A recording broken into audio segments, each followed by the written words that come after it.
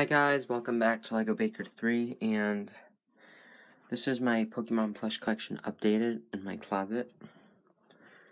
I have updated the Alola Pokemon plushes.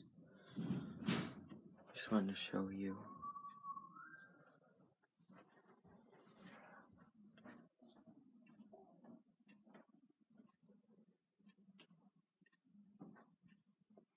So it is pretty amazing.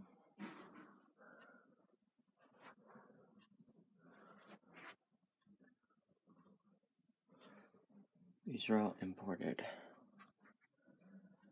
So just want to show you